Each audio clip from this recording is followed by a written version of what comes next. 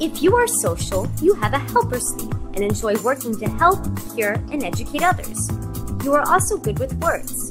You are helpful, outgoing, friendly, idealistic, kind, patient, generous, responsible, and forgiving.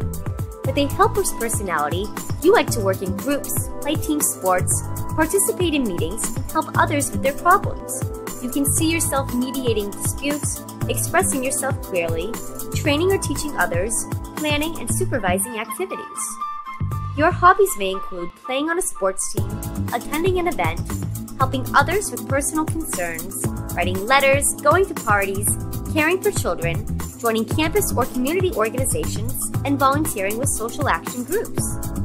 Some examples of individuals with a social personality are health field associates, public servants, librarians, real estate agents, natural resource rangers, therapists, social workers, hospitality personnel, and flight attendants.